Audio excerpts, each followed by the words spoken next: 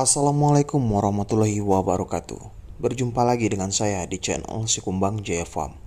Apa kabar para pemirsa? Mudah-mudahan diberi kesehatan oleh Yang Maha Kuasa. Mendapatkan bibit yang jelek adalah mimpi buruk bagi peternak kemitraan, ya. Mimpi buruk yang sering terjadi pastinya. Dan biasanya kalau sudah mulai mendapat uh, bibit buruk, oknum PPL yang tolol pasti ngatain kepada Anda.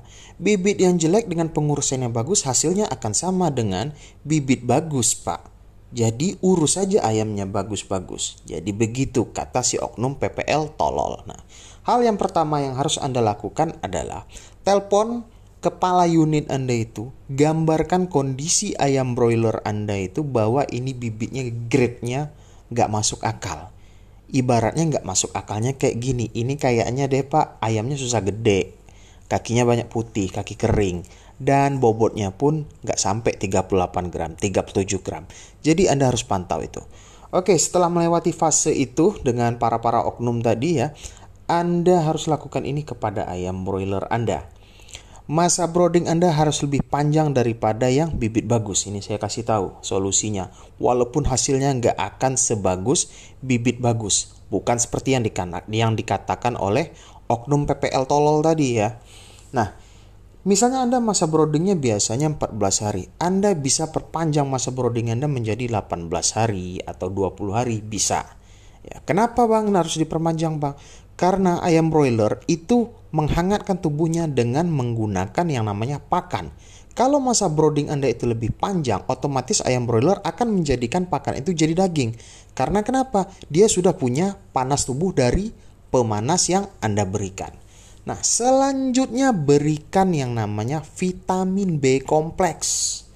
Vitamin B kompleks ini sangat berpengaruh sekali kepada yang namanya metabolisme ayam, pembelahan sel, dan nafsu makan ayam. Bang, lebih bagus vitamin B kompleksnya uh, yang minum atau suntik. Kalau kasusnya bibit jelek, lebih baik pakai yang suntik, Pak. Ya, Anda bisa upah petugas dari kemitraan Anda yang biasa nyuntik ayam, Anda bilang aja saya mau dapat itu obat vitamin B kompleks yang melalui suntik. Itu lebih efektif kalau bagi ayam yang bibitnya jelek-jelek gitu. Selanjutnya masalah pakan. Anda harus bekerja ekstra kalau masalah pakan ini. Karena kenapa ya? Bibit jelek. Namanya sesuatu yang jelek itu memperbaikinya akan lebih susah ya. Anda semprot pakan Anda itu menggunakan M4 atau probiotik. Tujuannya apa? Memberi, memberikan aroma asam manis atau rasa asam manis dan ini memacu nafsu makan ayam broiler untuk makan lebih banyak. Usahakan kalau bibit udah jelek Pak ya, pakannya harus lumayan bagus. Kalau bibit jelek, pakan jelek, udah Anda besok keluar itu dari kemitraan, nggak usah lagi. Kenapa? Anda hanya ngantarin duit Anda ke situ gitu loh. Ya, rugi-rugi ngutang akhirnya apa? Anda tutup kandang. Selanjutnya masalah manajemen. Beritahu ABK Anda keadaan bibitnya seperti ini dan cara untuk selamat dari periode ini supaya tidak menderita kerugian dan dia tetap bisa digaji dengan normal. Dia harus lebih rajin. Dengan cara apa? Bangunin ayamnya lebih sering lagi Mungkin biasanya 3 jam sekali bisa ditambah jadi satu jam sekali. Tapi bukan berarti ABK Anda tidak tidur ya. Kalau ABK Anda orang dua itu bisa gantian pak.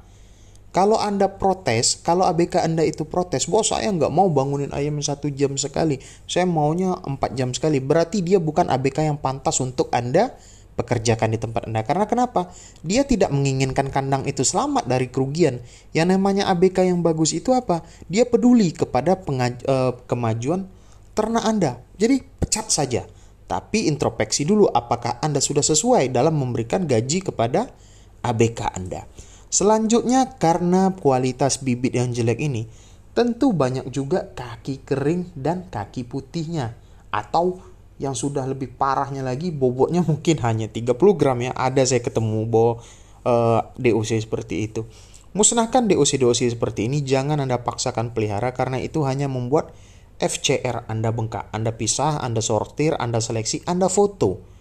Biasanya perusahaan itu akan memberikan garansi. Misal setelah anda sortir dapatlah hmm, bibit DOC itu yang jelek itu sekitar 3 box. Biasanya itu diganti kecuali kemitraan Anda itu bungkam gitu loh. Bungkam kenapa nggak mau tahu? Nah, PT-PT kayak gini kayaknya bahaya ini ya. Bahayanya apa?